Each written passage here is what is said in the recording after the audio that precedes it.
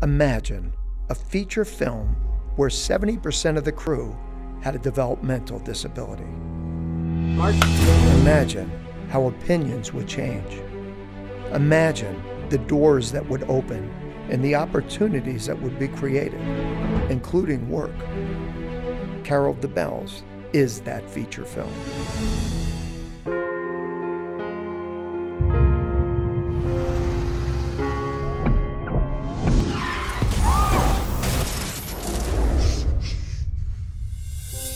I'm expecting a package. You want me to sign for it? No, I, I need to see the guy.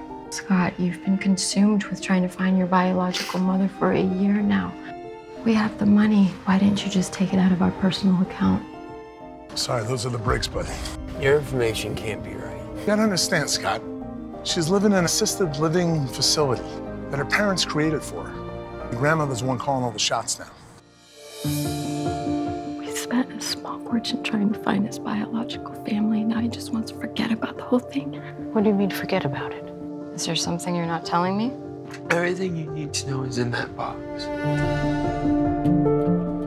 Hello, can I help you? I'm looking for Carol Harris. Oh, she's right over there next to those bells. Uh, all volunteers have to fill out some paperwork. She could use some assistance with her handwriting. How about we write a letter? Yeah, Who would you like to write a letter to? My son. I don't know how I could have any kind of relationship with her. I need you to let go. I can't, Scott. I'm a mother. Hi. Who are you? I'm a volunteer. A young pregnant woman visited Carol this morning. Carol must have taken her back there on her own. If you can't provide proper supervision for my daughter, I will find someone who can. I want you to stop visiting her. It's just too disruptive to her life. I helped Carol with her handwriting, and this is a letter she wrote to Scott. I miss you every day. I want you to come home to me. Please don't be mad at my mommy for making you go away.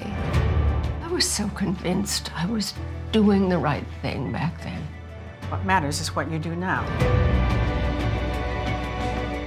I want sweet. And what if Daddy doesn't get a Christmas tree? That's okay. You know Christmas makes him sad.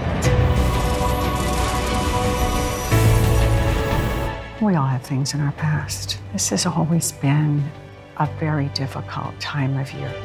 I miss my baby boy. Carol poured her heart into these performances. She's always sizing up the crowd. Or as I like to refer to her, Carol Bells. It has a nice ring to it.